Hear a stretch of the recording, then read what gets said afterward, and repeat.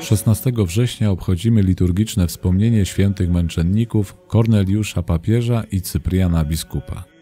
Korneliusz był synem Kastyna z rodu Kornelia. Jako kapłan rzymski był bliskim współpracownikiem papieża świętego Fabiana.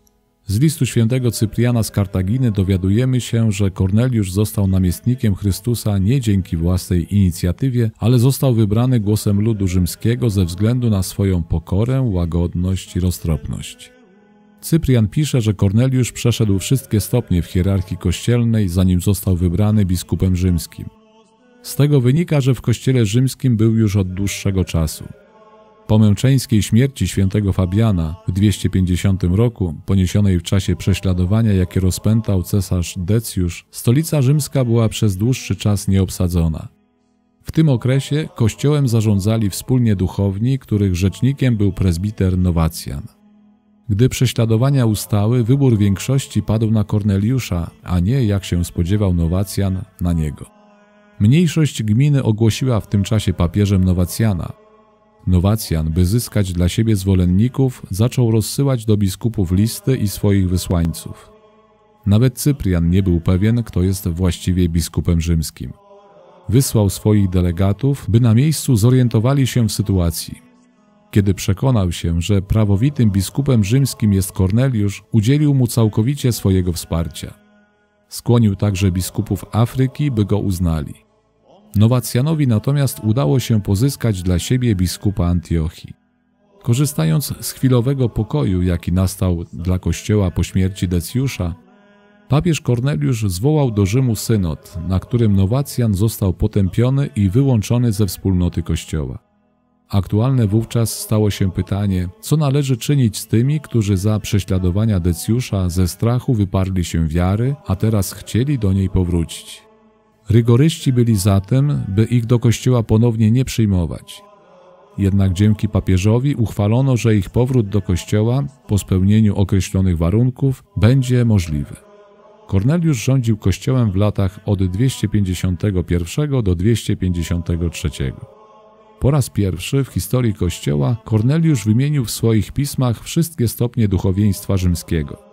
Kościół w Rzymie liczył za jego panowania 46 kapłanów, 7 diakonów, 7 subdiakonów, 42 akolitów, 52 egzorcystów, a także kilkunastu lektorów i ostiariuszy. Cała gmina chrześcijańska w Rzymie liczyła wówczas, jak się przypuszcza, około 10 tysięcy wiernych.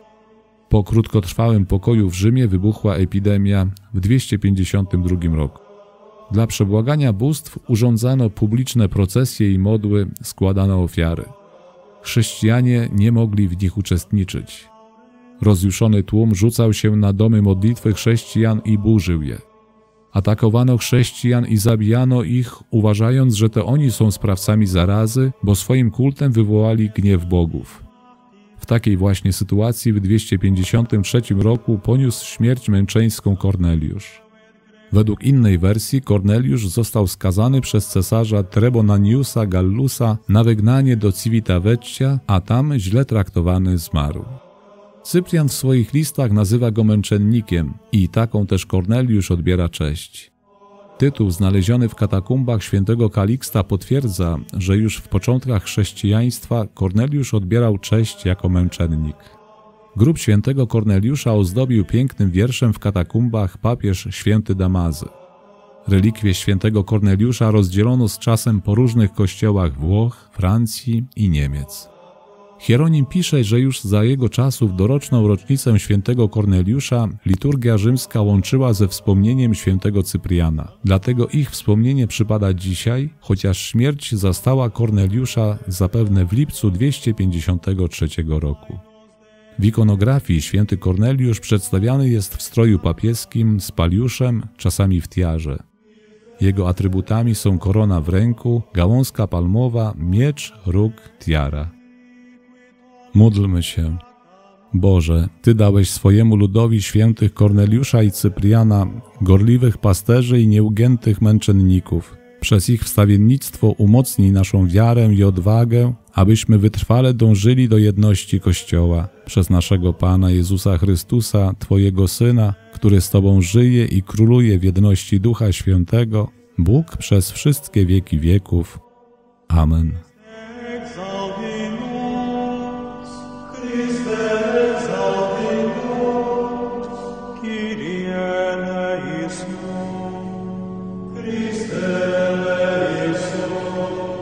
Kyrie